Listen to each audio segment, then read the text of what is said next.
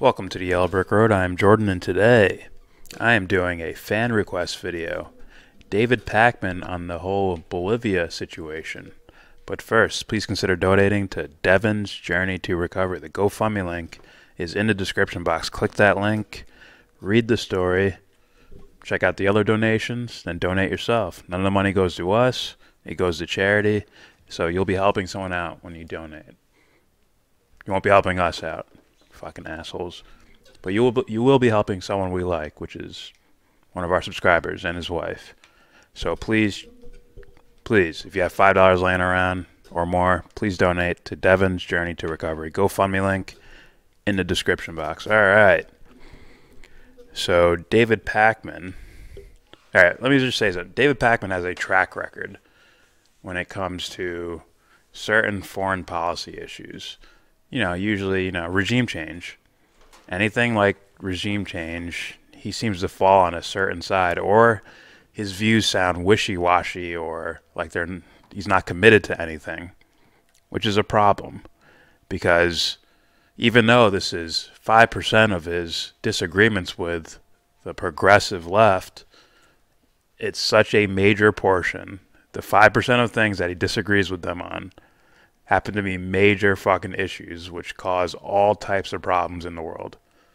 Also, it's just a, the most blatant moral scenario right? Like you don't use your military or spies or whatever to take down democratically elected governments. Like that's the most blatantly like blatant moral answer ever. Right?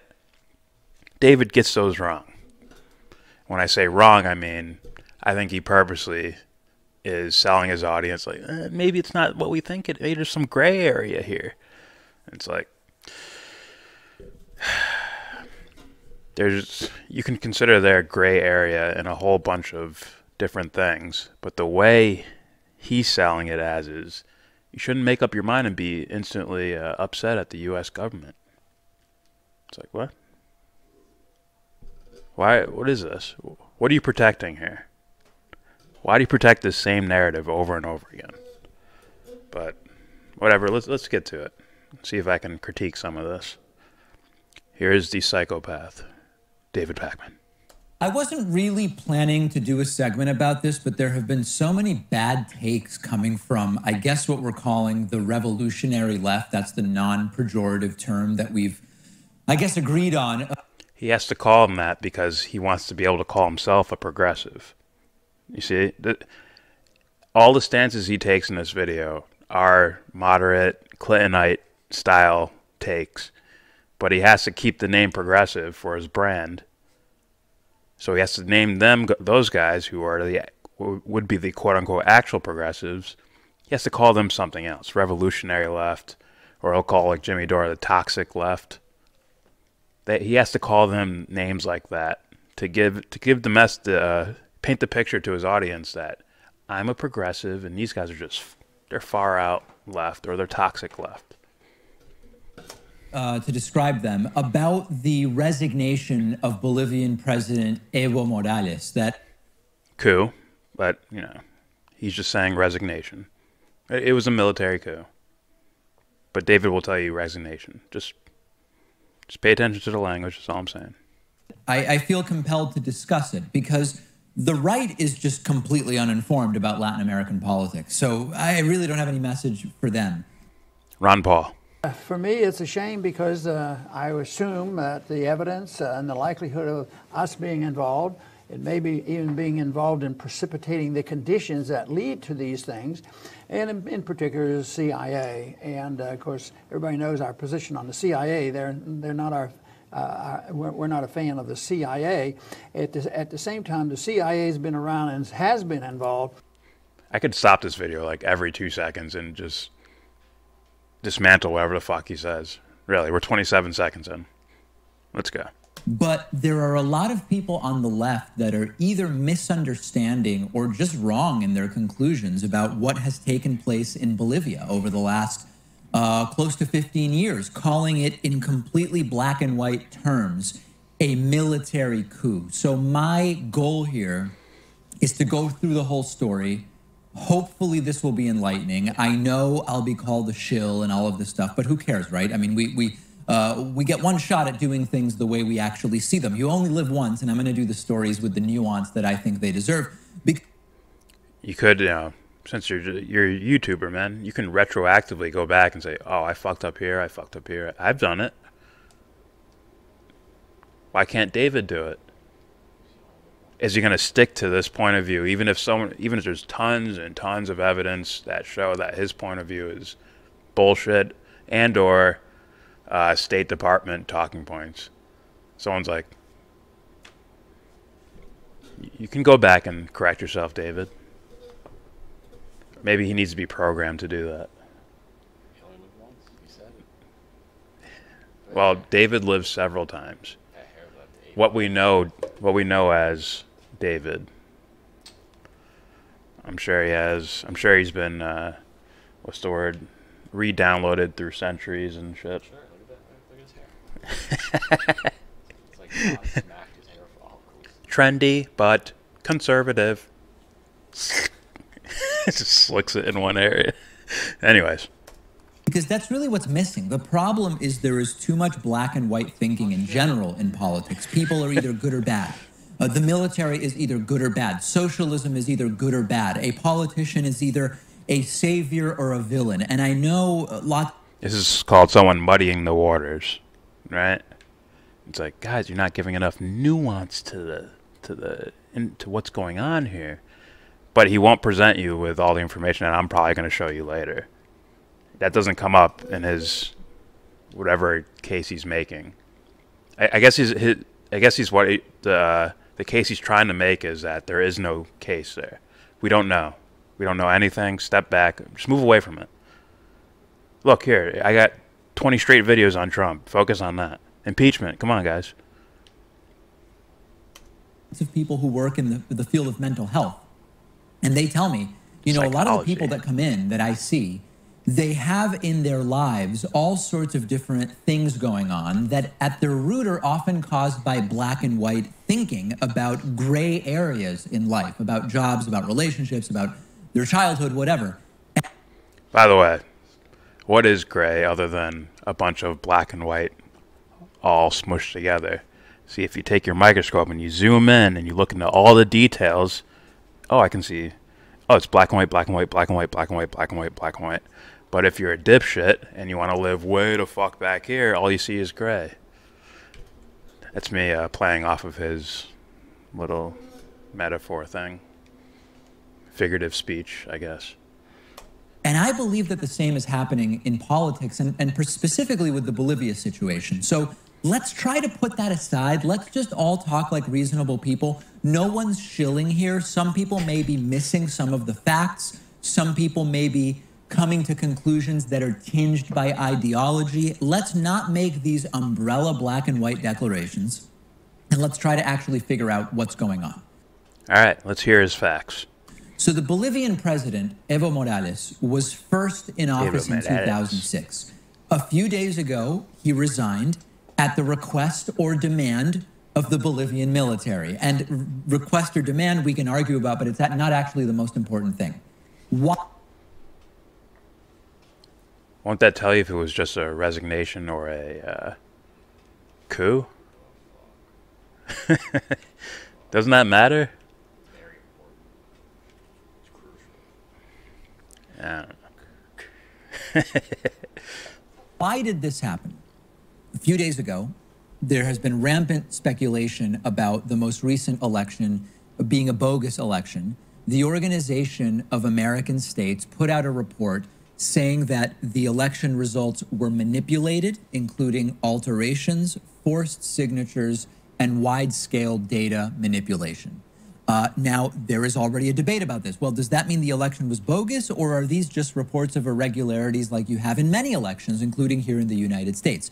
But for me, the real story is actually bigger than this. And I want to ask you this hypothetical. I think election rigging would be a big thing. Uh, maybe has a bigger point. Here we go. If Donald Trump, during his second term, imagine he gets reelected in November and he gets a second term. Imagine that during that second term, Donald Trump changed the Constitution to allow a third term effective immediately, but then also claimed that since the Constitution was changed, his second term is sort of really his first term under the new Constitution. So he should actually get two more. And then during the third term, which is really his fourth, he loses a referendum to allow unlimited terms. And then his Supreme Court justices that he has selected say, forget about the term limits, you can stay as long as you want. Wouldn't we in that situation, as progressives who are for the rule of law, wouldn't we be begging someone to force Donald Trump out? This is full on advocation of the coup. I was going to go somewhere else, but I just heard that sentence out loud. I'm like, oh, this is full on advocation of of the coup. Oh my god. Just realized that. Holy shit. But, you know, I'm not an expert in these matters, but uh, people, I guess, who do consider themselves progressives would uh, state what David's saying in a completely different manner and, in fact, say that Evo Morales was just following the rule of law. Ben, let me put to you some of the talking points that we've heard from people uh, who have been either justifying this coup or at least lending tacit support to it. So one of them is that Evo Morales uh, fraudulently, they say, extended his term. So there was a referendum Yeah. on whether or not he could he could run for another term. He lost, and uh, and then a Supreme Court, even though he lost narrowly, a the uh, Brazilian Supreme Court ruled that he could run again, and he did, and he won the first round. So Well, yeah, we want to so respond reader, to render, people. so- We're reading your, your comments here, by so the way. the so so so the commenter uh, render onto Caesar writes, "Can you speak to the claims that Morales packed the Supreme Court, which ruled in his favor, to allow him to seek another term? I heard people claiming it was illegal for him to pack the court." No, well, first of all, I mean, this reminds me of how when you have a Democratic president and someone there's an there's an open seat in the Supreme Court, someone dies, and then the Democratic president tries to install someone in the Supreme Court, they're accused of stacking the court. That's how the government works. When you're president, you can put people in the Supreme Court. That's not stacking the court. But then we have these these Democratic presidents in the U.S., these neoliberal centrists who are cowards and in the case of Obama, had this open seat and he didn't fill it, and then Trump filled it.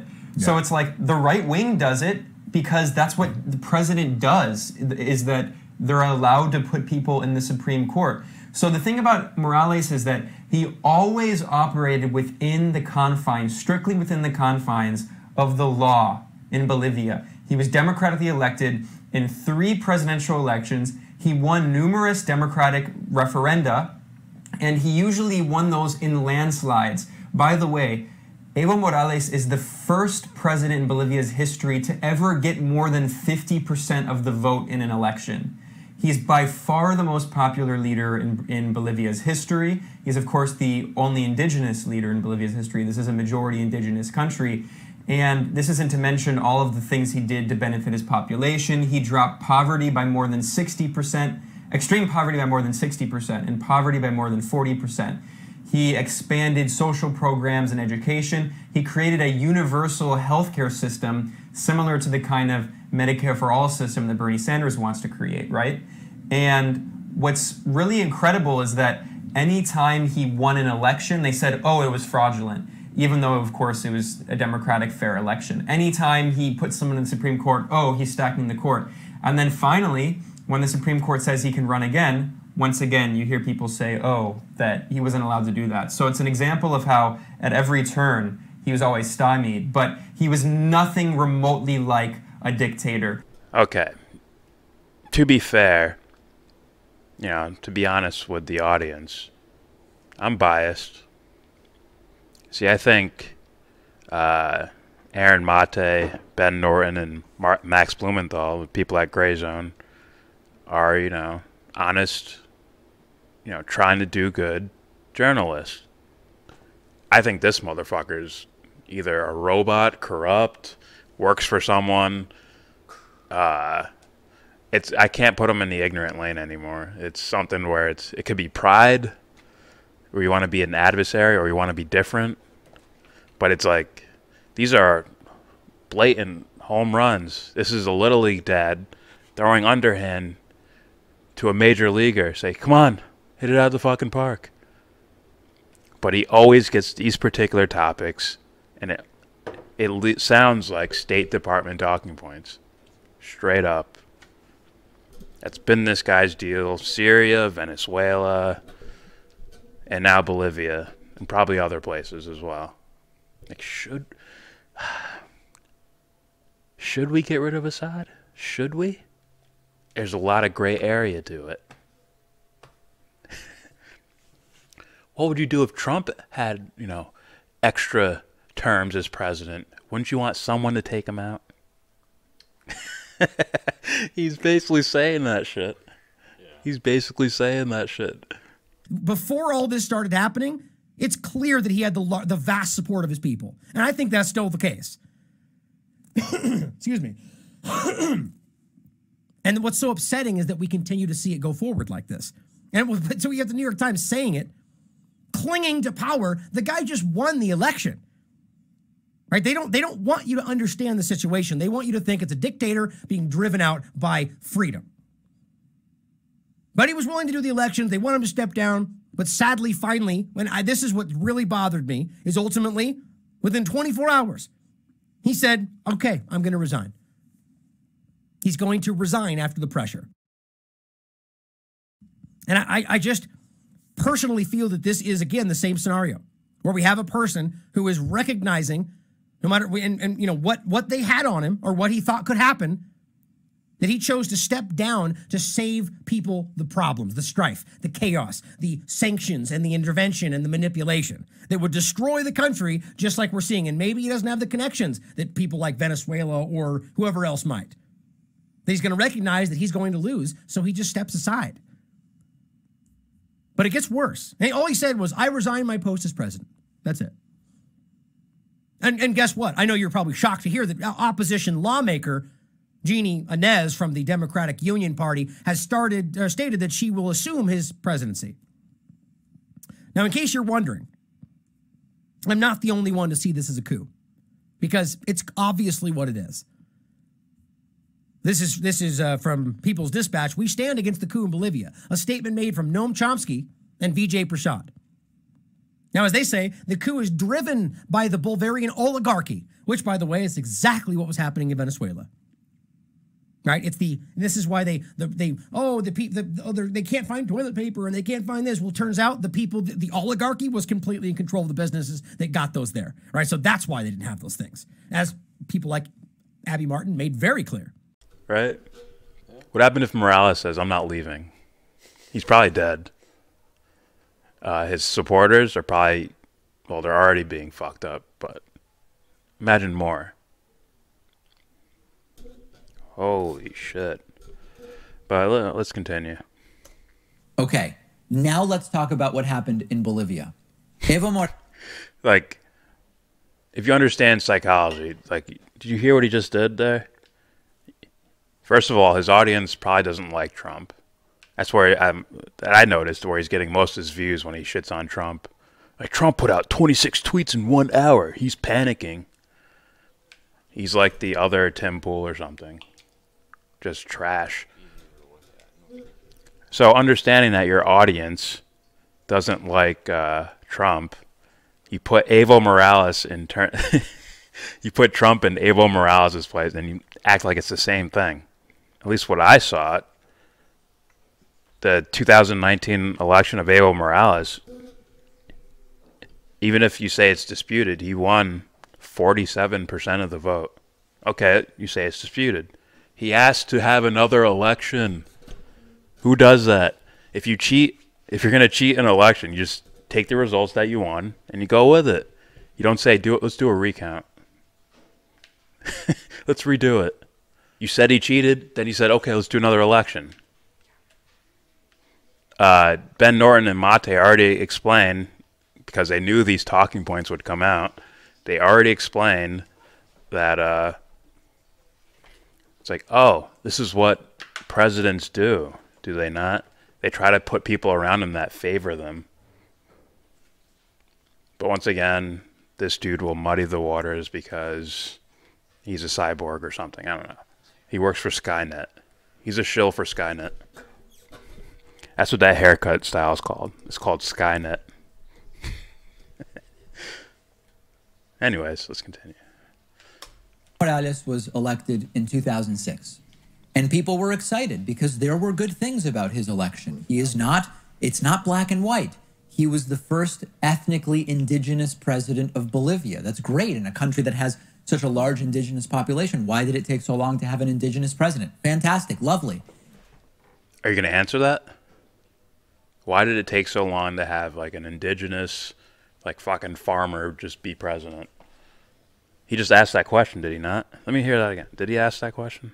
Because there were good things about his election. He is not, it's not black and white. He was the first ethnically indigenous president of Bolivia. That's great in a country that has such a large indigenous population. Why did it take so long to have an indigenous president? Fantastic, lovely. He Why did it, David? And I'm not even playing identity politics, which is the the direction, which was the point of him saying that. Of that's great, he's indigenous. Like, no, it's a little bit more than that, right? Didn't the policy start? Like, oh, maybe we should help our poor out in this country. Didn't policy start shifting towards that direction? Let's see if he names that as a positive. reduced poverty during his first term. He offered a much more sensible and pragmatic version of the socialism that has been espoused by Hugo Chavez and Nicolas Maduro. He invested in infrastructure and development The other dictators, according to David. and grew the middle class. Great. But like with many of these Latin American socialists of the last many decades, he's uh, uh, increasingly authoritarian. There's corruption. He was elected to a five year term in 2006. He got a new constitution adopted while he was president, which allowed two terms. Then in 2009, he called for early elections, won, and said, hey, this is sort of really like my first term because I didn't complete the first term under the old constitution. We have a new constitution. So I should really be able to run again in 2014. Now, to be fair, do I agree with that? If he, if everything he just said there is correct, uh, I wouldn't want uh, someone to do that. But I also understand. I completely understand. If you start, if Evo Morales is out there looking at his neighbors and shit being fucking cut down, it's like, oh, there goes, uh, there goes Lula. He's gone. Oh, Maduro, they're going after him. Chavez, oh, cool. Look at that. They're going after him. It's like maybe these guys think like, oh, maybe we need to, you know, sort of bend the rules a little bit in a way, or try to gain some sort of advantage because these motherfuckers do not want me here. They do not want me or any any ideas that resemble mine to be around in this area of the world. Maybe they have that thinking. Once again, that's just me going off of, let's say that's true. Mean, like, oh, I completely understand why people do that, or why Morales would do that. I mean, the the umpteen numbers of fucking coups in in South America and Central America, even Mexico, include the Middle East, that U.S. has been involved in, and uh, that we've seen throughout history. Let's continue. It's not objectively bad to change a constitution, but one should not be allowed to stay in office longer than they were originally supposed to because of changes made under their watch. That's what authoritarians do. So this is already bad.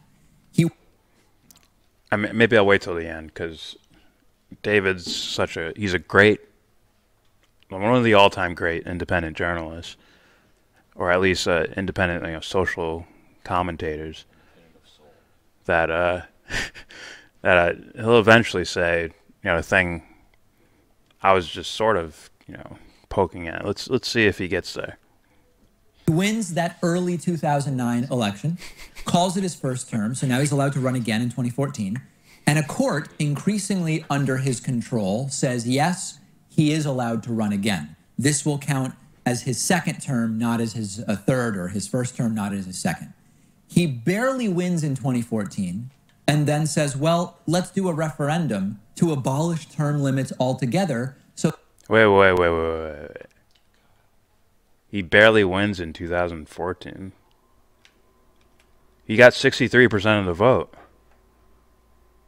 and 88%, 87.9% of people uh, was was the turnout. 87.9% turnout, and he won 61% of it. Am I looking at the wrong numbers or something? I don't know. Either that or he just made that up.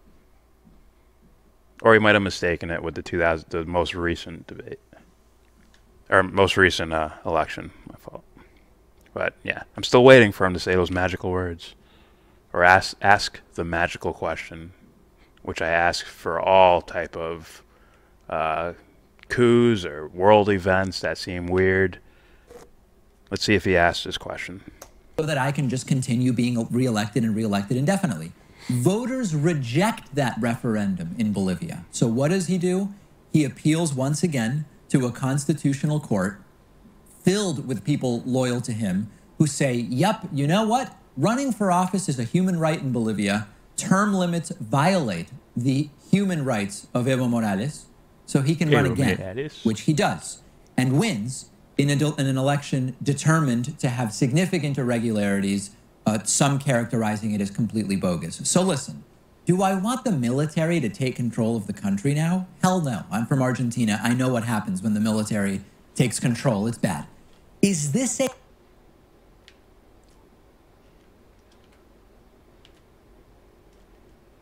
he's still not asking the question. Also, uh, this isn't just you know just the military's taking over. Uh, someone like uh, you know someone like fuck am I forgetting his name for? There we go.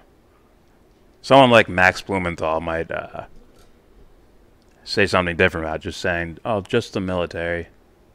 All right, so as I said, Max Blumenthal probably has a uh, disagreement with just calling it the military. So does Ben Norton. In this article from Global Research, all the crap I play in this video or articles I read will be in the description box, just so you know. It says Bolivia coup led by Christian fascist paramilitary leader and millionaire with bleep bleep. We'll get to that part.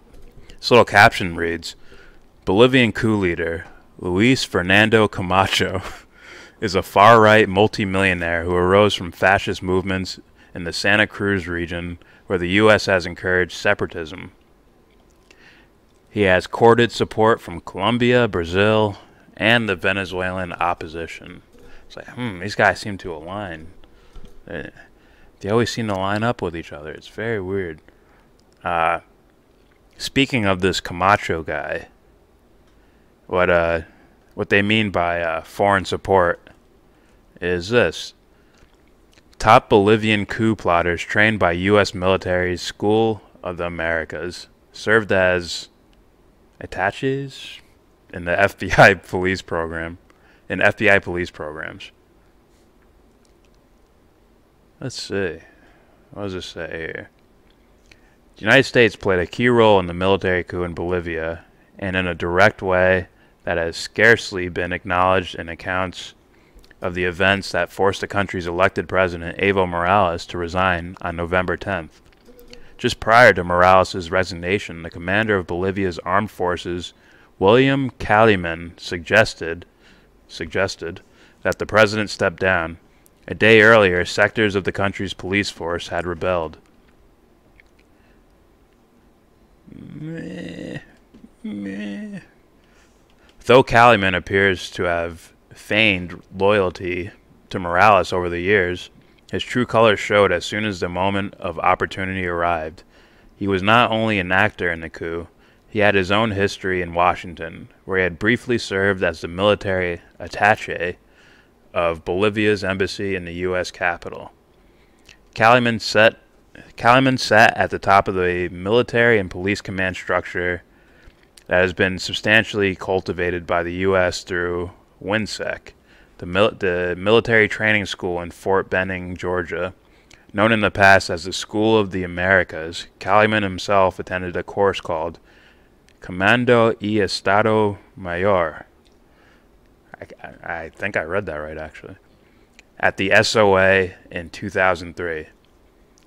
At least six of the key coup plotters are alumni of the infamous School of Americas, while Kaliman and another figure served in the past as Bolivia's military and police attaches in Washington.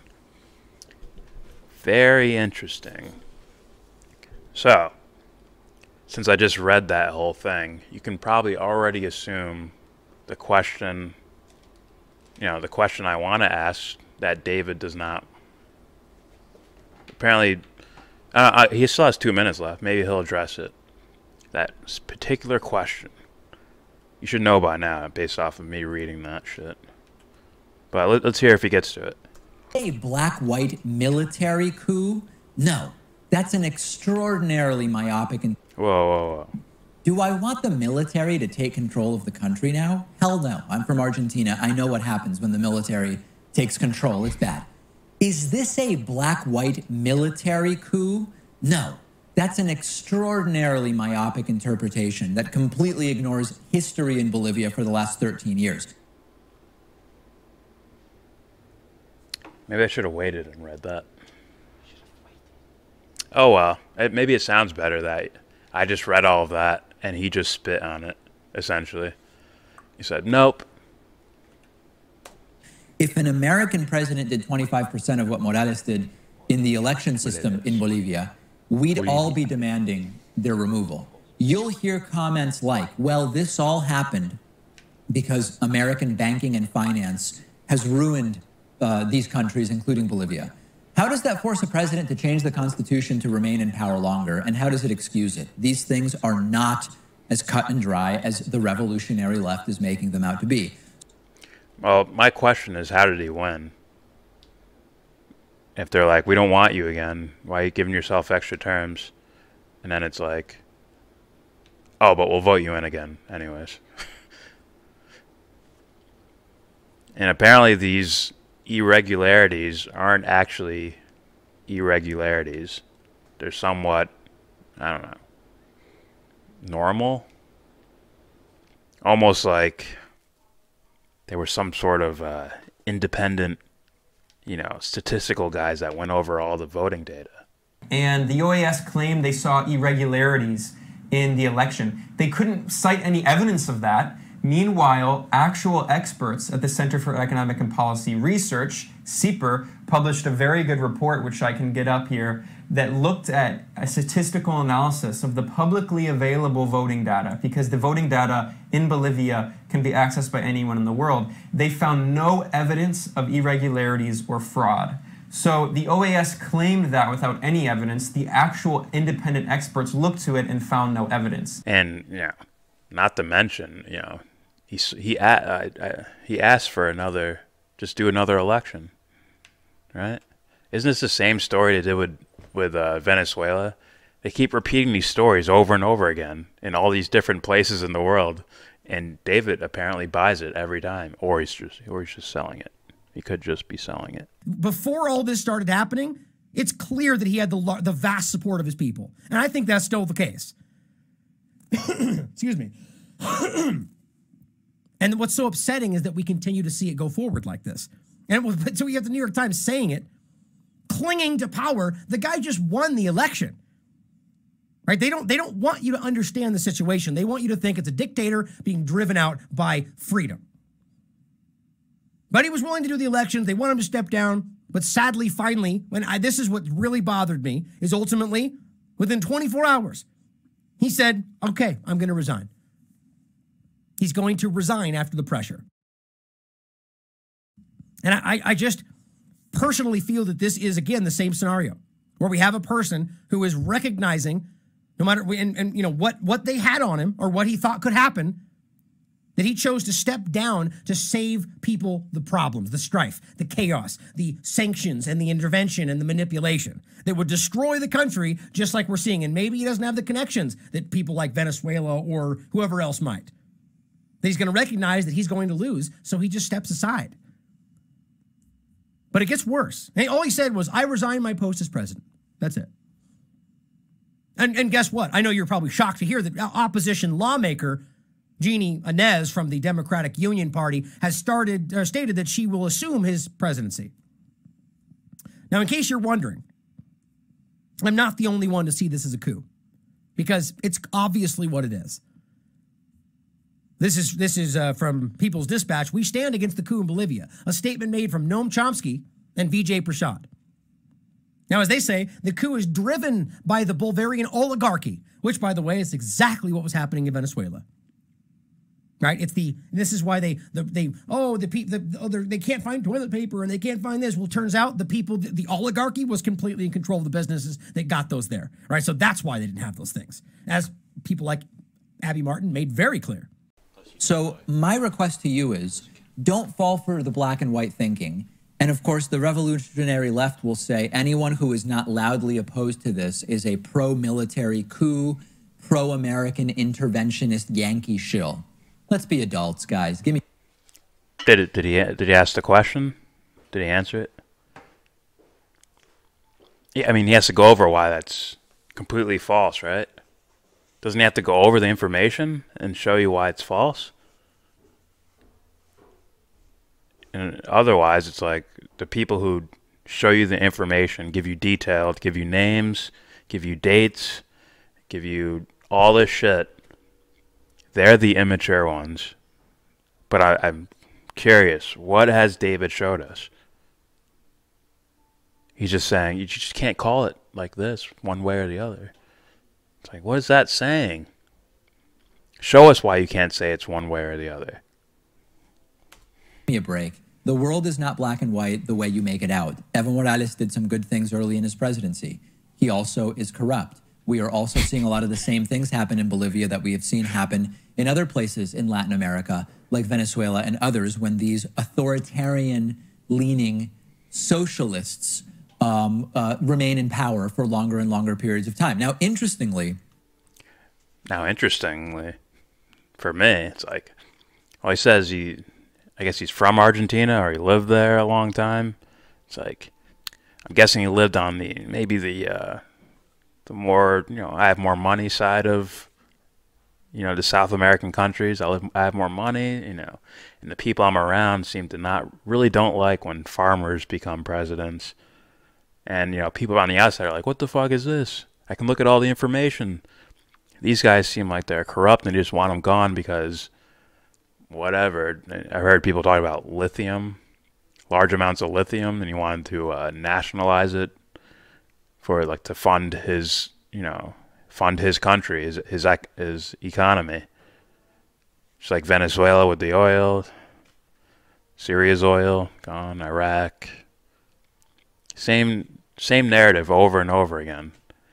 And you have guys that call themselves progressives and will probably call you toxic if you call this motherfucker out.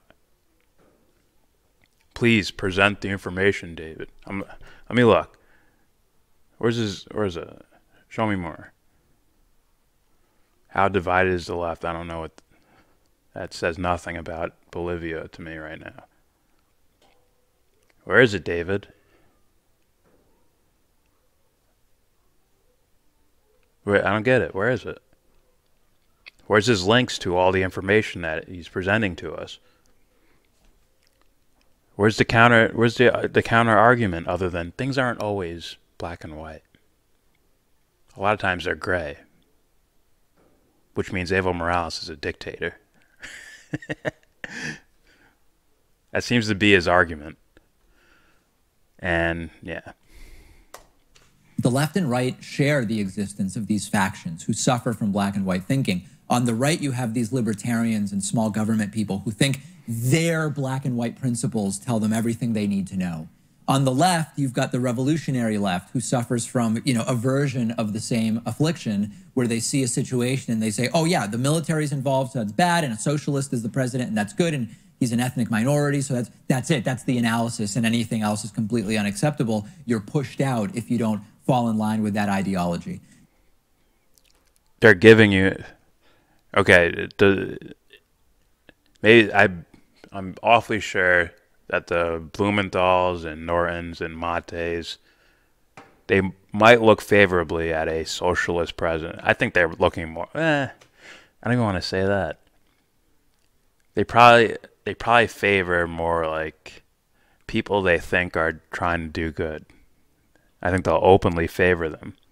But regardless, the information, they just put out information that always falls towards a correct answer. We wait 10 years down the line, we look back and like, here's what ha- here's the actual thing that happened, right? That's what it seems like.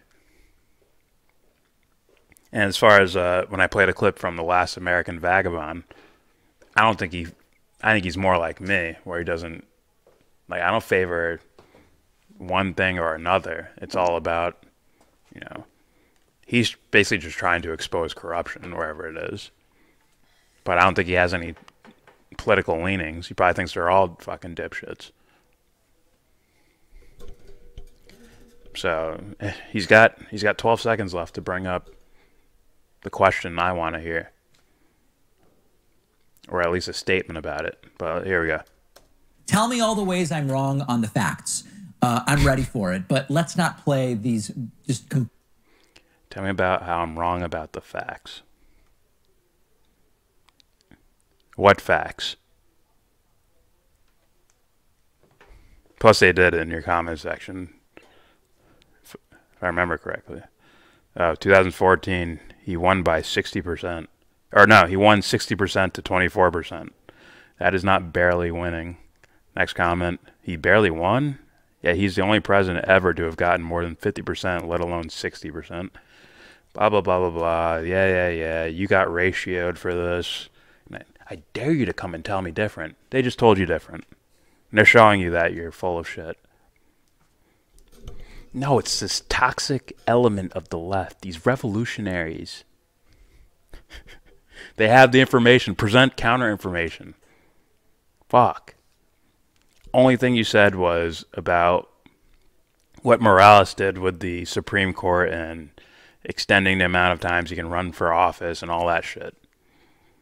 You didn't show that the that the elections were fixed or that they're you know you didn't show us what the irregularities were. What are you telling? You're questioning whether it's a military coup. It's like, is it? Is it not? You know, whatever you want to call it, resignation, military coup, whatever you want to call it. You know, it's like, no, you you can actually look up information and then tell us. At least present that information and show us, like, here's why it's wrong. Or you could just say on your own, like, I just don't believe this. That's I, I'd accept that as long as you're showing your audience the fucking information. Fuck. I can't go to your fucking description box and all I find is how divided is the left. That's your only link to something, or your fucking social media accounts, or how to buy your stupid fucking t-shirts or whatever. What the fuck did you sell? Mugs or something? Whatever the fuck you this guy sells. Alright, that's it for me. Hopefully, Scuffed, you enjoyed this fan request video. Once again, I'm not an expert, so refer to the comment or the description box where you can find the uh, links to everything I put on here. Uh, like Last American Vagabond, you should. I definitely recommend that guy, hundred uh, percent. Also, you know, gray, the Grayzone, but you guys probably already know about them. They'll be linked in the description box as well. Uh, yeah, subscribe if you like. Leave a comment. Tell me what you like, what you disliked about it. Tell me I'm right, tell me I'm wrong. Do that more than like or dislike. Tell me what was right or what was wrong about it. We all need help. we need to help each other out. And another way to help each other out is Devon's Journey to Recovery. It is a charity. None of the money goes to us, and you'll be helping one of our subscribers out and his wife who had medical issues, and we don't have, uh, you know, guaranteed health care. Or we haven't, we're not getting rid of medical debt yet, at least. So the best way to help, you know, people who have those medical debt issues is charity, and you can help out at Devon's Journey to Recovery GoFundMe link in the description box. And with all that said, give this video.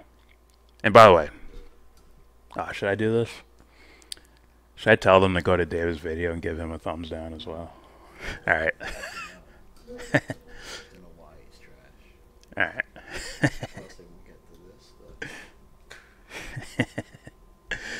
all right, all right. So, only give this video a thumbs down. Say you wanna get in.